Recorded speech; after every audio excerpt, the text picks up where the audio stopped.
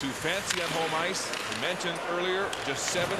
And Mark, you touched on Dustin Penner. He, take a look at this collision between Dustin Penner and young Taylor Hall. You can see Taylor Hall definitely going to take the worst of that exchange. And he wakes, gets up and he looks a little bit worse for wear. You see him holding over on the bench, but signaling now that he's okay.